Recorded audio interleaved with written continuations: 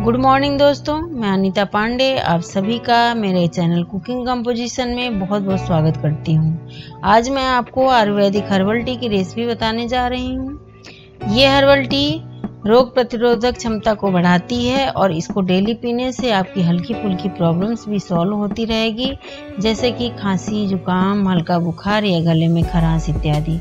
तो चलिए शुरू करते हैं। दो कप हर्बल टी बनाने के लिए सबसे पहले हम लेंगे इलायची एक पीस, लौंग दो पीस, अश्वगंधा एक छोटा टुकड़ा, दालचीनी एक छोटा टुकड़ा। अदरक या सौंठ में से कोई सा भी जो आपके पास अवेलेबल हो। श्यामा तुलसी या सिंपल 10 से 12 पत्ते जायफर एक छोटा टुकड़ा, पीपल वन पीस, काली मिर्च टेन पीस तेज पत्ता वन पीस इन सामग्रियों में से तुलसी पत्ता और अदरक को छोड़कर सारे सामग्री का चाहें तो आप पाउडर बनाकर रख सकते हैं और डेली अपने यूज़ के अकॉर्डिंग इसे हर्बल टी बनाते समय डाल सकते हैं। अब तेज पत्ते को छोड़कर और अदरक या सौंठ में से जो भी लेना हो उसको लेकर सारी सामग्रियों को इसमें डालकर उसको अच्छी तरह से कूट लेंगे।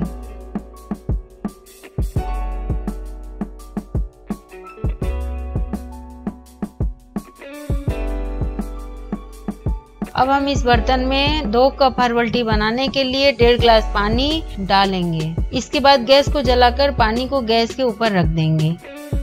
अब हमारा पानी गर्म हो चुका है। अब हम इसमें तुलसी पत्ता और तेज पत्ता डाल देंगे। इस समय मैंने गैस की फ्लेम को फुल कर रखा है। अब हम सारी कुटे हुए सामग्रियों को इसमें डाल देंगे।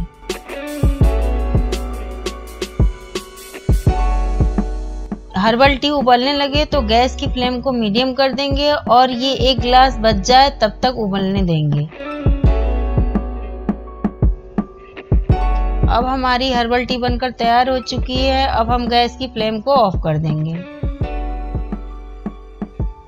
देखिए, मैंने जिस ग्लास से पानी लिया था, उसी ग्लास में एक गिलास में दो चम्मच हनी और एक गिलास में ग्रेट किया हुआ डेढ़ चम्मच गुड़ डाला है। आप अपने चॉइस के अकॉर्डिंग गुड़ या हनी का यूज़ कर सकते हैं। अब हम दोनों ग्लास में हर्बल टी डालकर हनी और गुड़ को स्पून की हेल्प से मिलाकर सर्व करेंगे।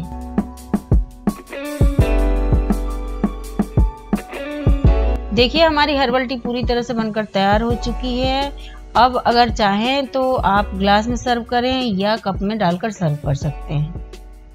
आप इस हर्बल टी में अपनी चॉइस के अकॉर्डिंग दो दो बूंद नींबू डाल सकते हैं।